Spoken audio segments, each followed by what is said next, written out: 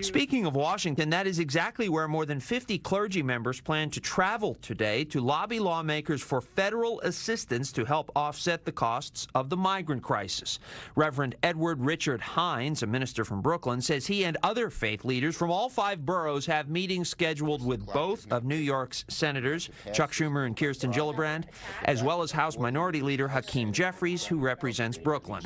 The city has cared for more than 180,000 asylum seekers and counting who have arrived at its doorstep. The Social Services Commissioner revealed at a city council hearing yesterday that the average cost per night of caring for a single migrant household, known as the per diem rate, stands at $388. That's $5 more than the cost that Mayor Eric Adams cited in August, but down from a peak per diem rate of $394 in October, according to a mayoral spokesman. And the costs add up quickly when you consider the fact that about 65,000 migrants remain in the city's care.